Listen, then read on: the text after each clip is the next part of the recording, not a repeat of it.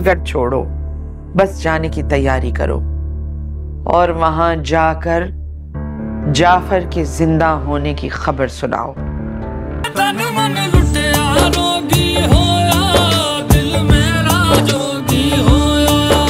आप क्या कह रही हैं अम्मा?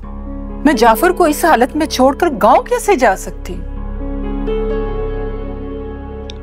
देखो मेमुना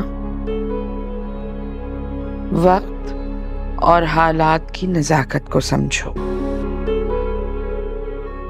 दुश्मन वार कर चुका है। मगर अल्लाह का शुक्र है कि उसने मेरे जाफ़र को बचा लिया।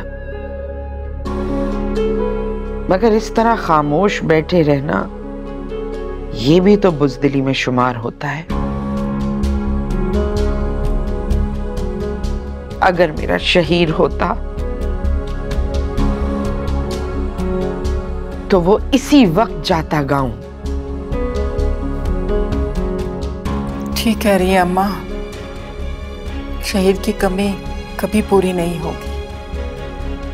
रेशम का हिस्सा भी उसके ससुराल वालों ने दबाया हुआ है। गजब खुदा का। औरत जात के हक को सल्ब करते हैं। एक लड़की का हक मार रहे जाफ़र के बाद तुम ही खानदानी मामलात को देखती हो। तुम्हें चाहिए कि वली के साथ गाँव का चक्कर लगा लो। मगर अम्मा ये कैसे हो सकता है कि मैं अगर मगर छोड़ो बस जाने की तैयारी करो। और वहाँ जाकर जाफ़र के ज़िंदा होने की खबर सुनाओ। फिर देखना, वो मनहूस खुद ही बिलों में घुस जाएँगे। दूसरी बात, रेशम के हिस्से की बात करो। उसका रिश्ता अटका पड़ा है इस वजह से। उसके हाथ उसकी जायदाद आएगी तो उसका मुस्तकबिल भी संवर जाएगा। मर्द के बाद ज़मीन, जायदाद औरत के लिए बड़ा सहारा होती है। खानदानी मामला में हाथ बटाकर जाफ़र की नज़रों में अपनी अहमियत बढ़ाओ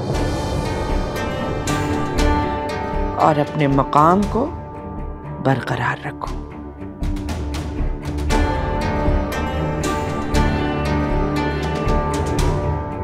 मेरी दुआएँ तुम्हारे साथ हैं।